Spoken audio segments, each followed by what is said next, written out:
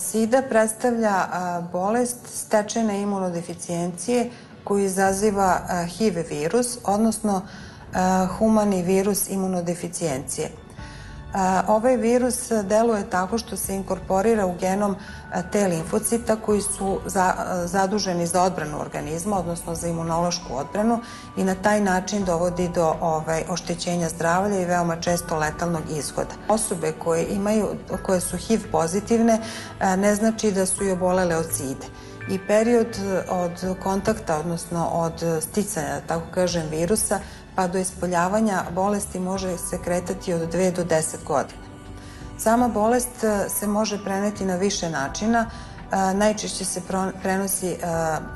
putem telesnih, odnosno ulazi u organizam putem telesnih tečnosti u slučaju nezaštićenog seksualnog odnosa, ali virus može ući preko zaražene igle kod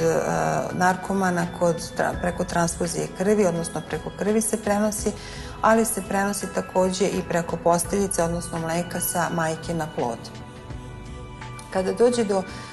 manifestacije bolesti možemo razlikovati više faza. Prva faza, to je faza akutne infekcije, koja podrazumeva naglo razmnožavanje virusa u krvi i veoma je važno detektovati tada virus, odnosno dokazati bolest zbog toga što je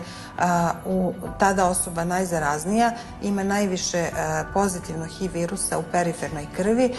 Sama klinička slika je neupaljiva, teško se može razlikovati od nekih drugih ovaj, manifestacija kao što su prehlade, javljaju se simptomi povišene temperature, bol u grlu, glavobolja,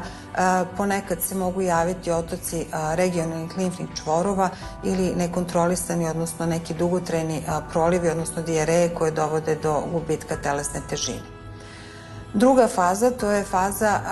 klinički asimptomatske ove, bolesti, kada opada broj HIV virusa u perifernoj krvi, Ta faza traje dugo i do 10 godina i ono što se dešava to je da se virus razmnožava i u velikoj količini nalazi u ovaj, regionalnim limfnim čvorovima gde se uništava veliki broj te limfocita.